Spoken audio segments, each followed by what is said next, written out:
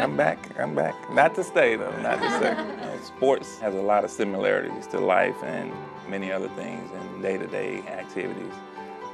Can you guys share some of the parallels between sports and to what you guys do? Cardiac transplant, transplant in general, kind of is it's a team sport. It relies on all aspects of the team to be successful, and bench strength is very important. So there are a ton of parallels. There are a lot more people than just the people on the field at one moment, and we're fortunate to sit here and talk with you. But there is, if we put everybody in this room that was on your team, it would fill up this room and would be overflowing. We really don't have any weak links on our team. Everybody is strong. We've had a huge number of people that have been on your team and you've seen every day and that knows your case as well as we do in front of you.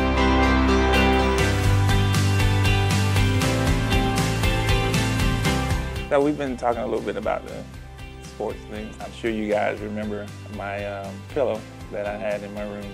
How did it feel to provide treatment to the guy that has the best football team in the NFL? Not the team that you're thinking. Your pillow was actually very distracting to us. Our team spent hours and hours talking about whether we should transplant you because of the high risk behavior of cheering for the Cowboys. Really? Okay. Okay. It was actually really reassuring to take care of a patient who was very sure of themselves, very sure of their team. They were very committed.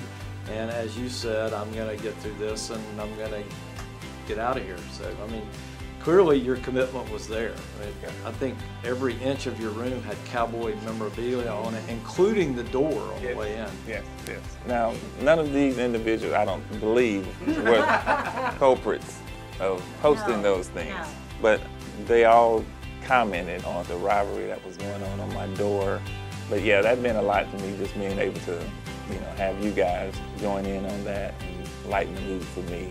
I mean, I think it's all of our goals, including the floor nurses, anybody that worked with you, is to help support you through your stay with us until you got your opportunity, to be your cheerleader.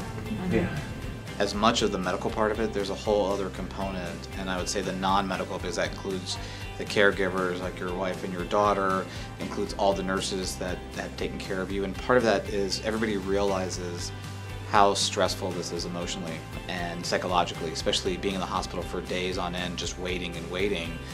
That is its own form of torture, right? And so, like what you said, is like having those distractions. We all take that very seriously because we need to make sure you are mentally strong enough to get through all of this because it is really hard. You know this. It really goes back to the sports analogy.